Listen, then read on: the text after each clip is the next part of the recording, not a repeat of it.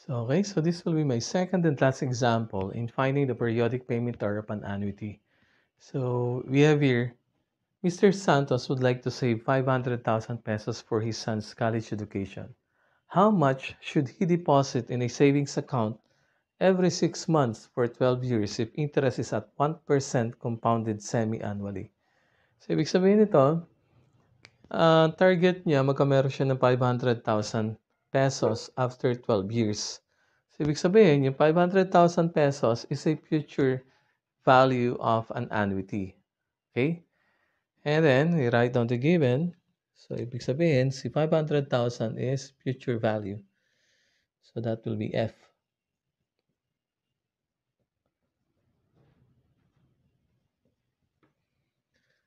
Uh, every 6 months, ang pagdideposit. Uh, so, ibig sabihin, uh, twice a year.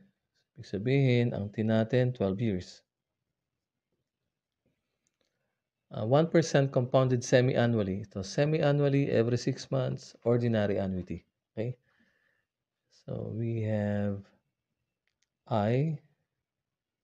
Yun ang symbol I raised to 2 in parentheses. So, 1%. So, kunin natin yung J. By the way, ang M natin ay 2 kasi semi-annually yung ating uh, interest rate. So, we have J equals uh, 0.01 divided by uh, 2. Okay. So that will be 0.01 divided by 2 is, that is 0.005. Next is we solve for n, that is mt. So 2 times t is 12. So 24 periods. Okay? 24 times siyang maghuhulog. Okay?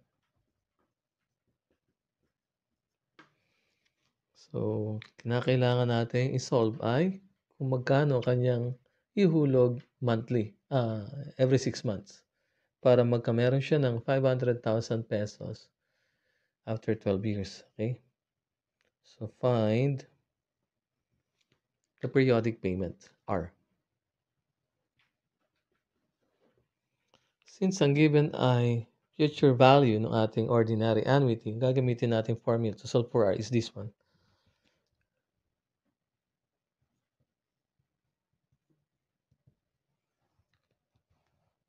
So we have R equals F is 500,000 over 1 plus J is 0.005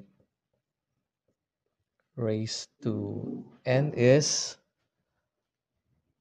24 minus 1 over 0.005 yan.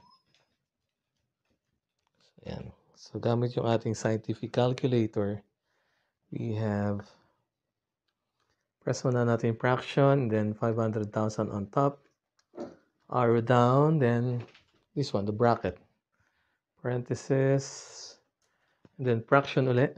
On top, we have another parenthesis, 1 plus 0.005, close parenthesis, then raised to power 24, arrow to the right, minus 1, arrow down, 0.005, arrow to the right, close parenthesis. So, itong dapat naka-display sa inyong calculator. Okay? Then, press equals. We have 19,660.31. Okay? So, 19,660.31 uh, pesos. So, ibig sabihin, kailangan mag-deposit si Mr. Santos every 6 months ng 19,660.31 para after 12 years, meron siyang half a million. Okay? So, that will be the end of the topic for this week about simple annuity. You have learned how to determine the future value of an ordinary annuity the present value, and the periodic payment. So thank you.